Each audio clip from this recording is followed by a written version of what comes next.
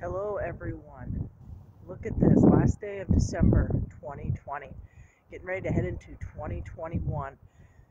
I don't really do New Year's resolutions, but I'm thinking about what am I hoping for in 2021 that Rachel can be, not so much what other people can be. And it occurs to me that um, our foundation, I'm always looking up, looking up, looking up for something to, I don't know, save me, reignite me.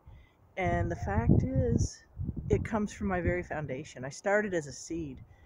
And so I need to think of the roots and what digs deep into the ground. Right? When I want to jump higher, I got to go lower to jump higher. I got to go lower to jump higher. And that scares me to death. But sometimes we have to get back to our very, very foundation. You know, I keep wanting the pretty flowers at the top of the tree. I want to be the pretty flower. I want everybody to see what a pretty flower I am at the top of the tree. But if I keep stealing from my roots, right? If I keep stealing from my very foundation, if I keep neglecting my feet, but putting makeup on my face, I'm going to topple. The roots are going to come out, they're going to weaken.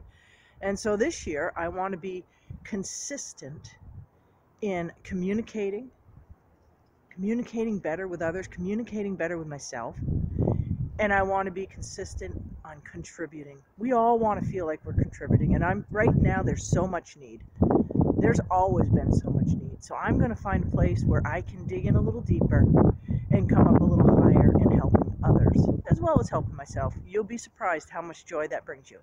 So happy 2021, and I'm going to listen to this. Hopefully, it's not so windy you couldn't get the message. Have a great day, and I'm going to finish this walk.